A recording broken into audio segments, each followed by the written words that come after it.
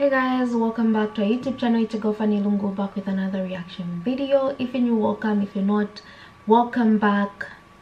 So today I'm going to be reacting to the book of Enoch banned from the Bible reveals shocking mysteries of our history. Very interesting. So without wasting time, let's get into it. Part of the Dead Sea Scrolls, the Book of Enoch is the oldest known apocalyptic writing in history. Although the ancient work deals with a biblical figure mentioned in both the Old and New Testaments, it was never intended to be included in the official canon of Christianity and Judaism. But why is that? What information contained in the Book of Enoch should not be taught in the synagogues and churches of this world? Together with you, we're looking for answers today. Before we get started, be sure to hit the like button and ring the notification bell for more videos. Also, stick around until the end to learn about one of the scary reasons why this book has been banned in many churches across the globe. Enoch to find out who Enoch was and which of his experiences were worthy of being recorded for history, we should first take a look at the official version of the Bible. However, when leafing through the Holy Scriptures of Christianity, it quickly becomes clear that the information available is extremely sparse. In the Old Testament, Enoch is only mentioned in passing in a short passage. The relevant passage in Genesis says that Enoch is the son of Jared. He in turn descended from Set, who was the third son of Adam and Eve. That Enoch was drastically different from normal people becomes clear when we consider the age ascribed to him. Accordingly, Enoch is said to have lived for almost 365 years. However, this incredible lifespan is nothing compared to the age reached by Enoch's children. Thus, the biblical figure fathered Methuselah, among others. The so-called forefather before the flood is said to have lived to be almost a thousand years old. The New Testament then stretches the story of Enoch a little further. The Epistle to the Hebrews emphasized that Enoch was loved by God and was called up because of his sincere faith. But what does that mean? In detail, this means that Enoch was allowed to ascend to the kingdom of heaven without having to die. At this point, the official description of the Bible ends. If you want to know more about the background of this exciting figure and find out which supernatural experiences Enoch allegedly went through, you have to direct your attention to some other writings, the so-called Apocryphal Enoch books.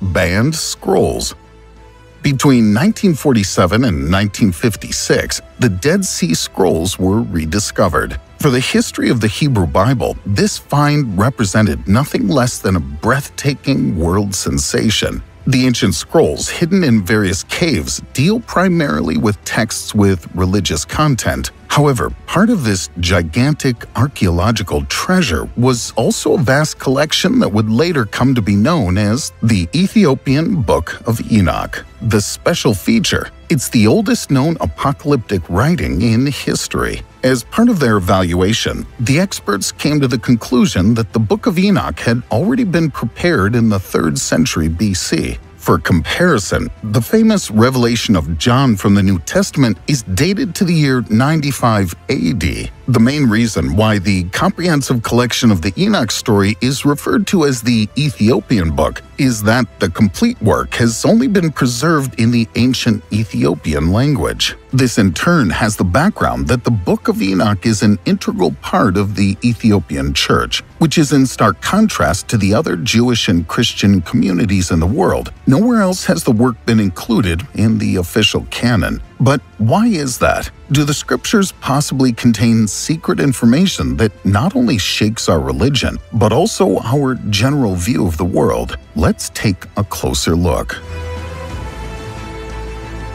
Enoch's Ascension As mentioned earlier, Enoch is said to have been brought into heaven by God during his lifetime.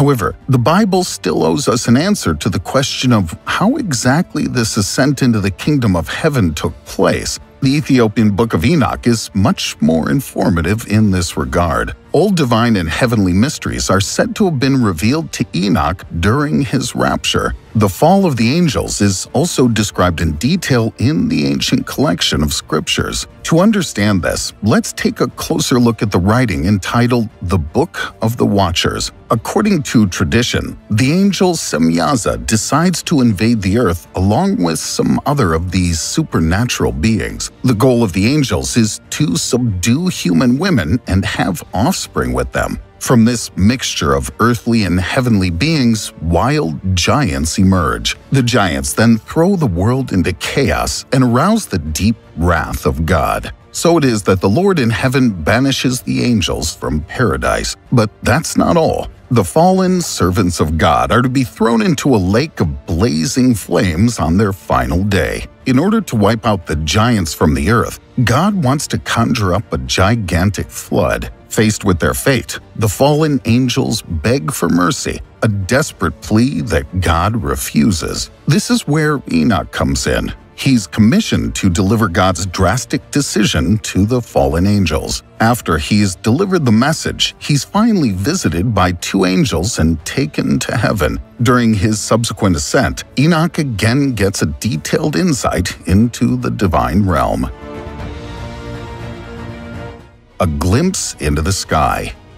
Where the expression divine realm comes from is somewhat misleading. In fact, there are rumored to be seven different levels of heaven with conceivably different residents, according to some denominational religious beliefs. This idea is also shared in the Book of Enoch, which is largely why some religions do not include this book in the canon Bible, because no other book of the original Hebrew Bible shares this idea of there being seven levels of heaven. In every other book of the Old and New Testament, only heaven is mentioned. There is not once a mention of another realm of heaven aside from the one and only heaven, which Enoch is said to have ascended to. According to this idea, in the first level heaven are the clouds and the stars. In the level above the fallen, damned angels await their fate. The third heaven in turn houses what we would commonly call the biblical paradise. This is where the souls of godly people are brought. However, in the north of the third heaven is also hell, where sinners receive their punishments. Passing the sun and the moon and gigantic guardians and choirs of angels, we finally reach the seventh and highest heaven. Here is the throne of God, and only a few archangels are permitted to dwell at the side of the Lord of the worlds. According to the book of Enoch, after arriving at the side of the Creator, Enoch is commissioned to write down everything that the Creator dictates to him. In addition to the mysteries of heaven and earth, this also includes the story of creation. In just 30 days, Enoch completed 360 books. Armed with these new writings, Enoch is sent back to Earth. The books are then given to Enoch's sons. He instructs his children to renounce all sins and at the same time warns them of the approaching flood, with which God will wipe out the wild giants. This information helps Enoch's great grandson, Noah, prepare in time for the devastating flood and build his ark of salvation. After Enoch has carried out the tasks assigned to him, he's finally admitted to the heavenly paradise. With all this in mind, it begins to become clear why the Book of Enoch was removed from the Bible. We know that many years ago, the Bible was carefully curated by experts who decided which books were canon and which were not. This was done in an attempt to free the Bible from any attempts at fraud. After all, as writing was becoming more commonplace and more and more people were seeking to disband the Christian faith once and for all, the church needed to do something to ward off anyone who wanted to lead Christians astray. Thus, sometime around 382 AD, the Bible was combed through and the canon books of the Bible were decided upon. Books such as Enoch were removed because they didn't align with all the other books that were determined to be canon. In fact, some books didn't align with one another at all, including one non canon book titled The Wisdom of Solomon, this has led some people to believe that the Bible as a whole cannot be trusted. This is largely because of the idea that if non canon books can be removed, who's to say that canon books may not have been removed as well? If the Bible was curated by humans, what kept human influence from removing important books of the Bible? In actuality, it's clear to see that all the remaining books of the Bible perfectly align with one another and don't contradict with a handful of exceptions that have been determined to have been the result of minor mistranslations. Aside from this, every book of the modern Bible shares the same story without incident. On the contrary, the books that were removed, now known as the Apocryphal books, contradict one another at every angle and don't align with the other 66 books that are found to have been authentic. Thus, a total of 15 non canon books were removed. So, what does this mean for the Book of Enoch? To put it simply, the book appears to have been created fraudulently. Its story doesn't align with the other 66 books, and no ancient translations of the book have been found, suggesting that it may have been written in much more modern times. Aramaic fragments of the book have been found, suggesting that ancient Jews and some Christians were aware of the book, but we have no evidence that the book was ever studied or verified by first century Christians, as is true with most other books of the Bible. Enoch and pre-astronautics. There are many different reasons why some people believe that the Book of Enoch was banned from the Bible. When you look at it from a strictly historical context, as mentioned, it's obvious that the Book of Enoch doesn't belong because the book doesn't echo the beliefs that are shared all throughout the Bible. Because of this, the book has been sworn off by both denominational and non denominational churches. However, there's a much more bizarre theory that has been passed around in recent years. As it would turn out, some people believe that the book was removed from the Bible as part of a worldwide conspiracy. This conspiracy would have been shared and agreed upon by every church across the globe, and thus the Book of Enoch was removed. According to this idea, the Book of Enoch doesn't actually share religious history, but instead shares the story of a mysterious alien abduction. Yes, according to this theory, the secret writings of Enoch confirm the theories about ancient alien visitors. Remember, the parascience of pre-astronautics is based on the belief that the ancients were regularly visited by extraterrestrial intelligences. But how do God, fallen angels, and bloodthirsty giants reconcile the views of this theory? Well, this is because the pre-astronauts have a slightly different interpretation of the events recorded in the Book of Enoch. In this theory, the creatures that descended on Earth and mingled with women were not biblical servants of God, but aliens. The figure referred to as God in the Book of Enoch was in fact not the heavenly creator, but the head of the extraterrestrial species.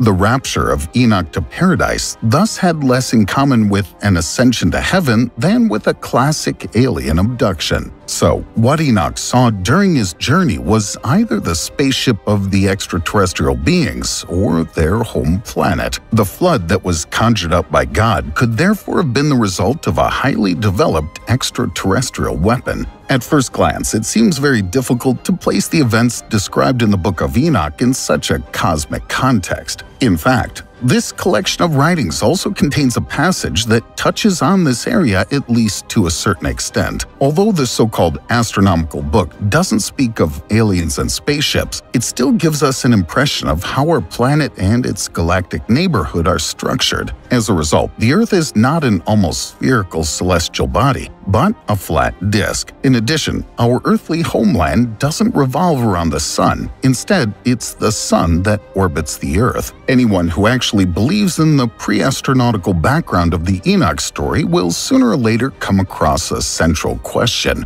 Why have aliens not visited us since ancient times? After all, they've made themselves known to mankind openly in the past, so that they were worshipped as heavenly beings by the inhabitants of the earth. Some supporters of this parascience believe that another visit from the extraterrestrial intelligences is imminent because they're watching us all the time. Given the current evolution of our species, the aliens may believe that we humans are in danger of wiping ourselves out. Accordingly, with the development of atomic bombs and the like, we've now reached an explosive technical age. So according to pre-astronauts, it won't be long before the currently invisible observers will put us back on the right path. Now it's your turn. What do you think about the exciting content of the Enoch book? Why do you think the scriptures were not included in the official Bible canon? Let us know your thoughts, suggestions, and feedback on today's post in the comments below. If you enjoyed our foray into the world of banned writings, please give us a thumbs up. Also, while you're at it, don't forget to subscribe and click the bell to stay up to date from now on. Finally, please take a look at the other videos on our channel that we've linked here for you. Thank you for watching, have a good one, and see you next time. What a video. Um, I know the book of Enoch has been excluded from the Bible, but I didn't even know any of the contents of the, the book itself.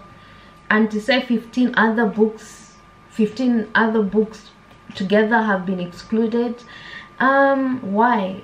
Why? How do you get to decide something? Because it's contradicting with the rest? Then who wrote these books you know why were they written in the first place if they were contradicting? And i feel at the end of the day give let people choose what they want. It's like they're keeping some sort of information from the people. Why keep that information from the people? Give them the information. Let's see what they'll do with that information at the end of the day.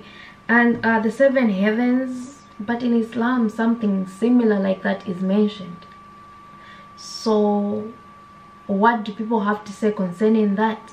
That's something I'd love to know. Otherwise I'd love to read the book of Enoch and other books as well that were excluded from the Bible just to see what they talk about despite their contradictions you know. And I hope others have read and if you read them what are your thoughts? Please tell me what you think about the seven heavens what you think about the aliens what you think about the exclusion? That would be very very nice to hear from different people uh, make sure to give this video a thumbs up share it with your friends and of course do not forget to subscribe and i'll see you in my next reaction video